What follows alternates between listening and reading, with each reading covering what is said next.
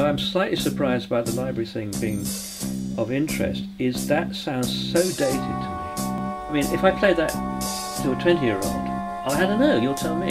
But they go, so cheesy, it sounds like something out of a porn film, you know.